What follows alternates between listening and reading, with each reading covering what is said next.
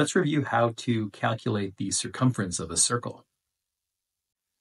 The line entirely across the circle going through the center is called the diameter.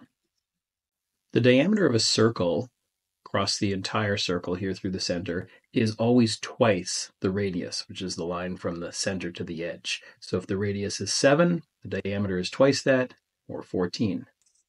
The circumference is pi times the diameter, and our diameter here is 21. So 21 times pi is going to be our circumference. The circumference is 2 times pi times our radius, or pi times the diameter.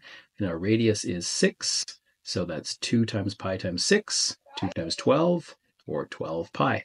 The circumference is pi times the diameter, and our diameter here is 12. Pi is just a bit more than 3. 3 times 12 would be 36. So our diameter or circumference is going to be 37. Our circumference, the total distance around the outside, is pi times the diameter or pi times twice the radius. So if our radius is 6, the diameter would be 12. And so our circumference is going to be 12 times pi. Pi is just a bit more than 3, so that's going to be about 37.